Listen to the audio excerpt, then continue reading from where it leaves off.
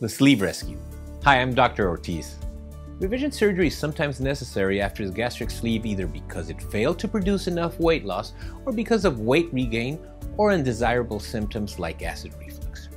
The OCC sleeve rescue is a unique approach to dealing with a sleeve procedure that has failed by fixing the actual procedure without the need to convert to a more invasive or aggressive procedure with its own set of undesirable symptoms and complications.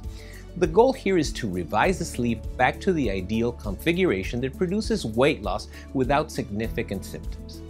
The OCC Sleeve Rescue focuses on the GEH or gastroesophageal hiatal triad anatomy, reestablishing the normal physiological functioning of the valve that prevents heartburn and permits food to pass normally into the stomach.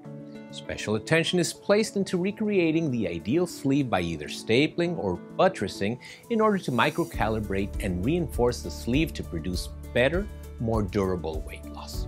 Lastly, the whole sleeve is anchored into the abdominal cavity by the fundic anchoring technique in order to prevent sleeve migration into the chest through the hiatus that could potentially result in severe and chronic acid reflux. The sleeve rescue uses the IGS or improved gastric sleeve principles to revise and resolve the problems of conventional sleeves that have failed.